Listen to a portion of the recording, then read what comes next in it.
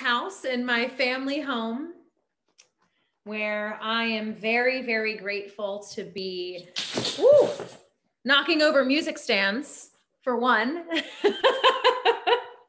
and just sheltering in place and quarantining with my parents and my sister and Noah and both dogs. And we have our Christmas tree behind us. We decorated it last night.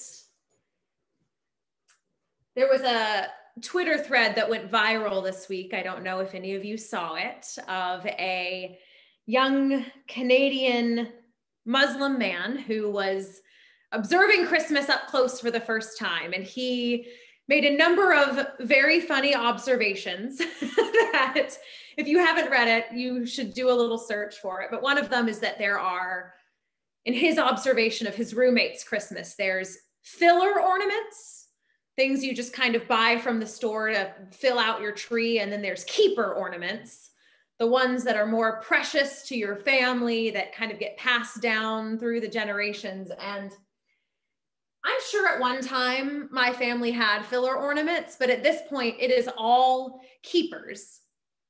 Although we have a different distinction, we have front ornaments and back of tree ornaments. so if I were to give you a little tour of our tree, the back would be covered in all the all the ones that we don't want up front, but I I love decorating the tree and I feel so grateful to be here on Christmas Eve this year normally I don't get to be near all these family ornaments because I'm far away. And so that's an unexpected blessing for me.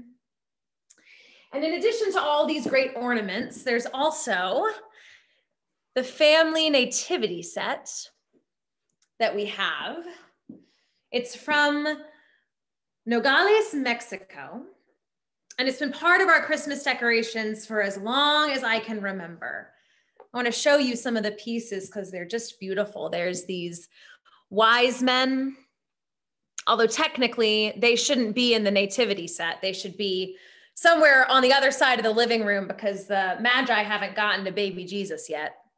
If you want to be technical about it, and we've got Joseph and Mary and little Jesus in the cradle, and then one of my favorites, the the sheep. I loved setting this up when I was a kid. I would always want to be the one who who set up the nativity set because it felt like this way to participate in the story. It was this special job and I would just sit and look at them and imagine what all of them must be feeling. It felt very holy. And I'm sure that many of us have nativity sets or creches. They adorn our apartments and homes, our churches, sometimes even our lawns. And they reflect what's told to us in the story in the Bible, some of which we heard Pastor Veronica read for us this evening. So the gospel tells us that, you know, Mary and Joseph, travel to the town of Bethlehem so that they can be registered for the census. And of course, they can't find a place to stay, right? So they camp out in a stable where Mary gives birth to Jesus. And nearby, there are our shepherds who are informed by the angel about the birth. And so they travel and then they too pay homage along with the other animals, sheep and cows. And if you saw the front of our bulletin, there's a really fantastic rendering of this that also includes flamingos and lions. It's from an artist, I believe, from Kenya. It's a beautiful image, this nativity set. The animals and humans all together in adoration of little baby Jesus. But this image, as beautiful as it is, doesn't capture it all. It doesn't capture everything. Scripture doesn't even capture everything about that night so many years ago. For instance, it doesn't tell us what it was like for Mary and Joseph to travel while she was pregnant. Did her ankles swell up? Did Joseph get worried about the health of mother and baby?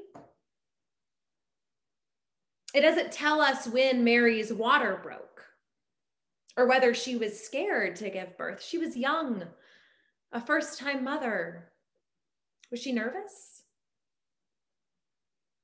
It doesn't tell us when she began to push or whether she screamed out in pain. And we don't even know what their surroundings were really like.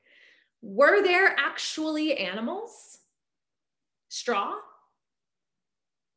Was it more like a cave? That's what some commentators and traditions of Christianity believe that it was more sort of a cave rock formation. Some say that really what we translate as stable was actually just kind of like a main room of the house.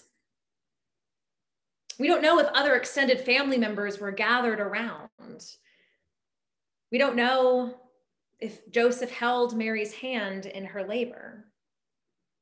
Scripture doesn't tell us about Jesus's borning cry or how it felt for Mary to hold her baby for the very first time. We don't know if Mary struggled to get Jesus to latch for his first feeding. We don't know how Joseph calmed Jesus when he got fussy. The nativity set, it's so beautiful. I love it, but it's not the whole picture. This is almost sort of the equivalent of one of those posed newborn photos. The thing that a professional photographer captures after everyone's had a chance to get a little cleaned up and maybe had a bit of a night's sleep. I don't myself have any kids, but my understanding of labor from my mom and from my friends who have had children is that it is messy. It's often long and painful. It takes a lot of work to have a baby. It's sweaty and it's bloody and it's beautiful and it's holy. that's the nativity set I want for 2020. That's sort of the image I think I need in my mind this year because it captures an essential truth that Christ is born into messy, troubled, bloody, sweaty, difficult, beautiful reality. That's what it really is to be human. Emmanuel, this Jesus comes to us with cries of pain and cries of wonder, with pangs of labor and pangs of love. The carol that me and my dad sang this evening, O Little Town of Bethlehem, has this beautiful lyric. The hopes and fears of all the years are met in thee tonight. Those lyrics feel so fitting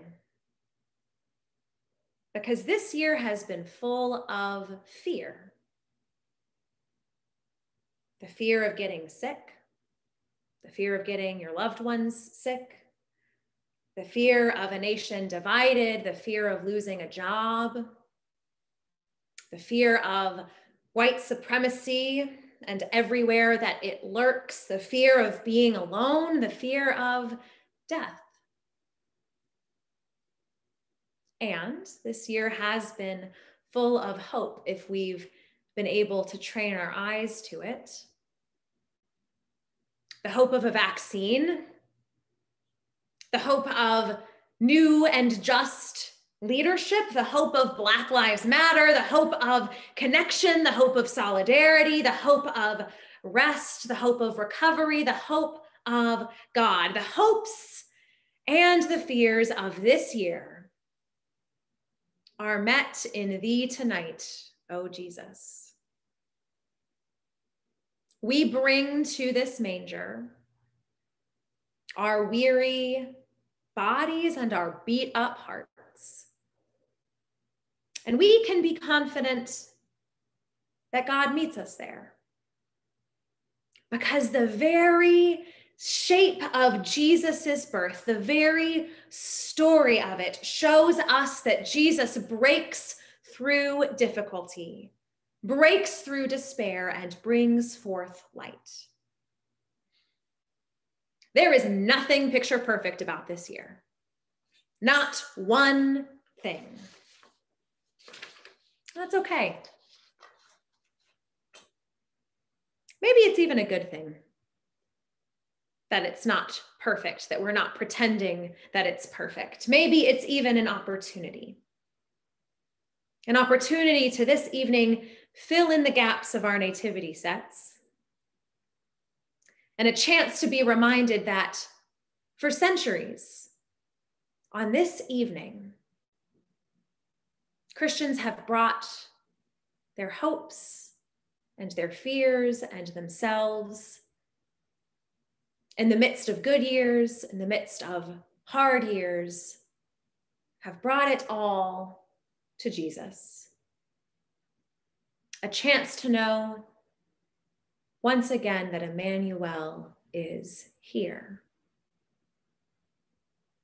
And so, of course, to demonstrate that, to symbolize it, as we have on Christmas Eves for years and years, we signify that Emmanuel is with us by lighting a candle, the Christ candle.